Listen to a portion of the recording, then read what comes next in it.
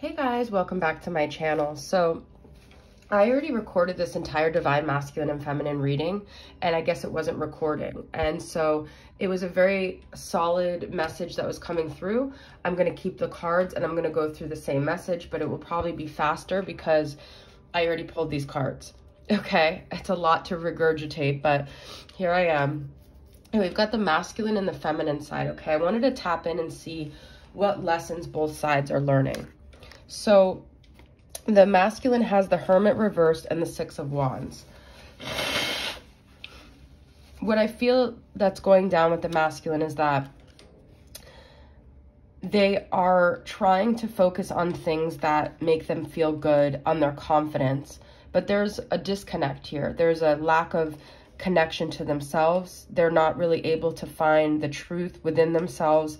They might be very isolated. They might be depressed. The hermit reverse to me is like an extreme sense of loneliness, okay? So I feel like they have these moments where they're sitting and they're depressed, but then they're like, you know what? Like, I'm going to focus on what feels right. And a lot of times for masculine, that's their work because that's usually what even had a big part in why they didn't stay with the feminine or part of their mission, right? So they're supposed to be um, gaining confidence as, um, you know, as an adult, being able to provide for themselves and for others and um, being, uh, feeling accomplished and self-sufficient in that way. So they may be appearing to be self-sufficient in some way or successful, but inside there's an emptiness, okay? The feminine here, we've got the star and the moon reverse, which is very different cards, but in a way I feel they're mirroring sort of the same experience where there's a part of them that's very hopeful. There's a part of them that's very connected. There's a part of them that feels like every little thing is gonna be all right.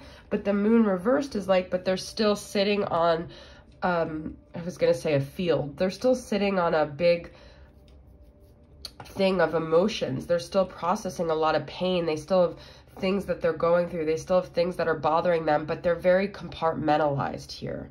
Okay, now what I thought was so interesting, I swear to you guys, I already did this video and it wasn't recording the whole time, was the masculine has intuition and third eye chakra reverse. So they're still not having the courage to follow what feels right for them. And that's why there's a disconnect here.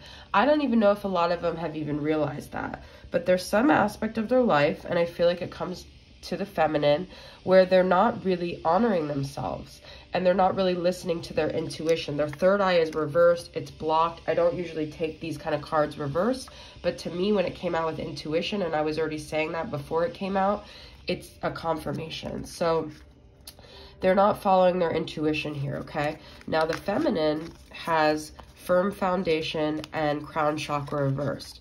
So I feel like the feminine is working on these things on the outside, these ways of being able to survive, just like the masculine, but there's a mental like disconnect to what she's doing. It could be almost this like robotic mode of like survival, okay?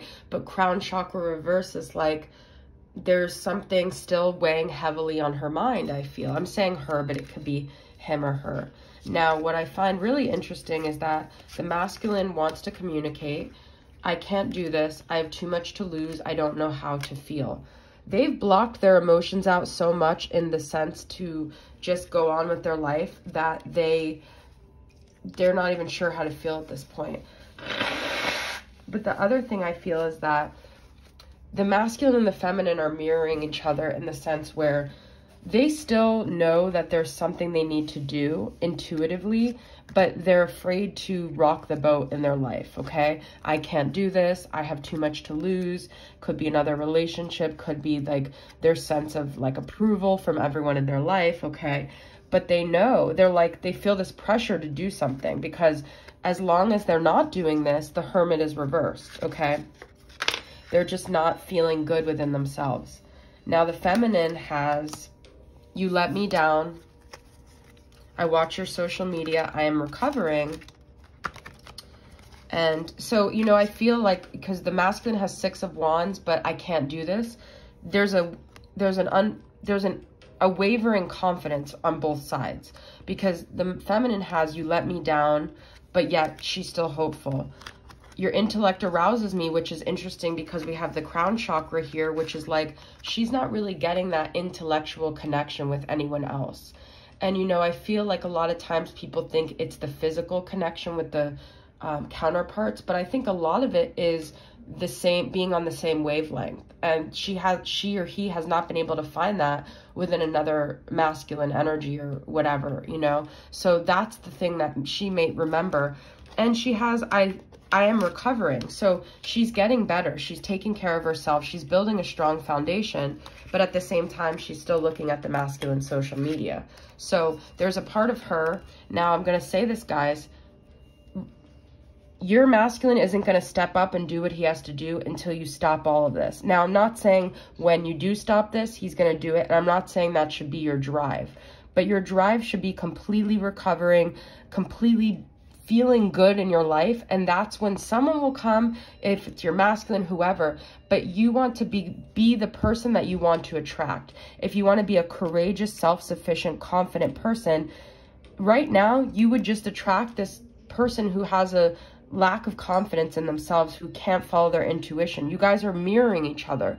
They're always going to follow your energy. So the best thing you could do to either attract your masculine or to someone else whatever the values are that you want to attract. You want someone courageous. You want someone who speaks their mind. You want someone open-minded. You have to be that way. You have to let go of these things, these attachments, because if not, you're going to draw in someone that's still stuck on their ex, okay? Or you're going to draw, you're going to keep your masculine from taking that necessary step that they have to take to follow their intuition. So that's what it is, guys. I just think it's beautiful. At the same time, I think you're exactly where you need to be. I think the feminine knows it's not about just recovering. It's about really just stopping all of this behavior that's preventing them from manifesting the connection that they want. All right, guys, I said it was going to be short because I literally just regurgitated the same thing that I just spoke in another video. That's not anyone else's fault, but it's a lot of energy for me. So thanks for being here. I'll see you guys next time. Bye.